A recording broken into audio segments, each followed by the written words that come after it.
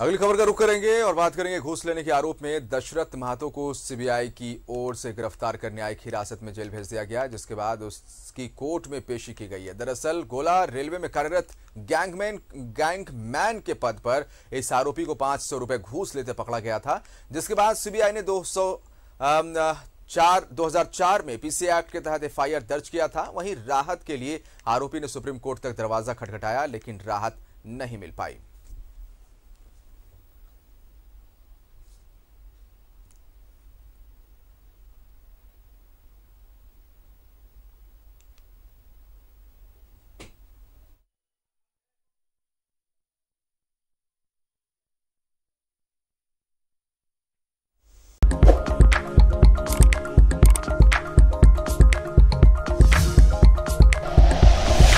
Like and share videos, subscribe करें हमारा channel और प्रेस करें बेल आइकॉन न्यूज़ 11 भारत. सच है तो दिखेगा।